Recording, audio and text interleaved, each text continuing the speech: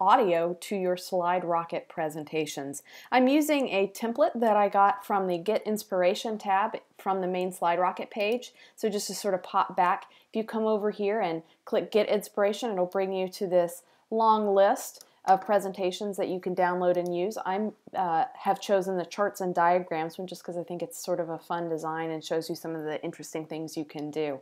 Um, once you have your presentation already set, uh, the thing to do is to go to the View tab and then click Show Notes. What that'll do is it'll pop up an area for you here at the bottom where you can type in your speaker notes and you can open this up as large as you want depending on how much text that you have.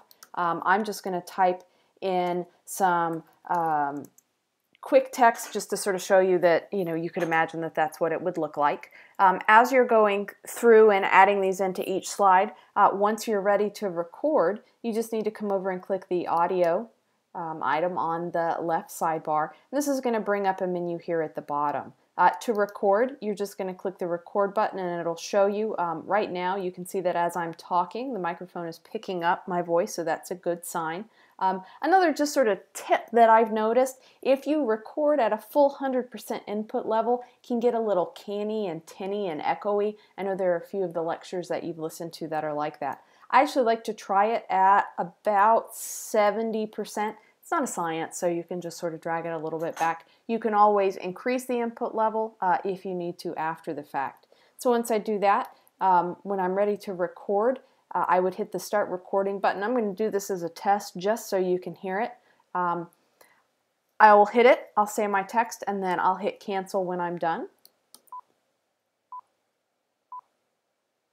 This would be the text that I would be reading in order to record some audio over my slide.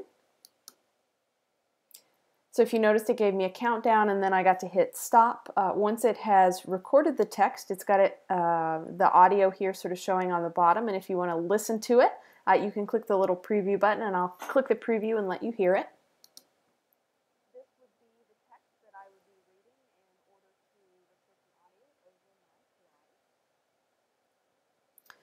If for some reason it's not exactly what you want, you can always clear it out and start again. So I might clear it. Yes, I'm sure I want to delete the audio. It was a little longer than I needed. Um, and I can try again.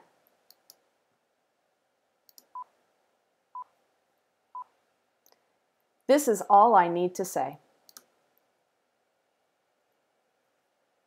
And again, you'll see it's there.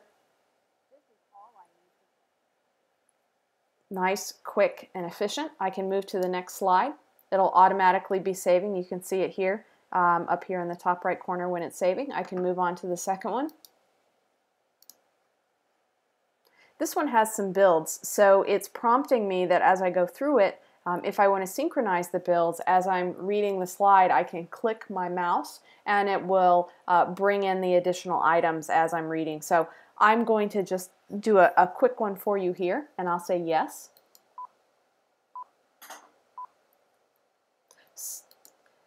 The topic of this slide is social media explained.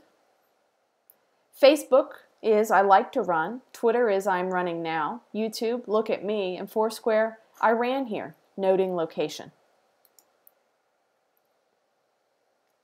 So again, you can see that uh, in the, the bottom column, or excuse me, the bottom row, it's showing you where the builds are, build set 1 and build set 2. If for some reason the builds weren't the way that you wanted, uh, you can go back in and resync the builds uh, without having to re-record the audio. You can just click it. Um, all of that, it, if you get into these more advanced, more complicated features, there's tons of help, um, and you can click to search here at the top through the uh, SlideRocket forums and the help contents. I don't think most of you will need that, but it's available for you. It's got a lot of powerful tools if you want to do something a little bit more advanced. But on a basic level, that's how to record slides. And if you ever want to hear it, you can just go down here, click preview. You can also preview from doing uh, the view if you want to play from start or play from current slide. And I'll let the last couple minutes of this just show you what happens when you do a preview.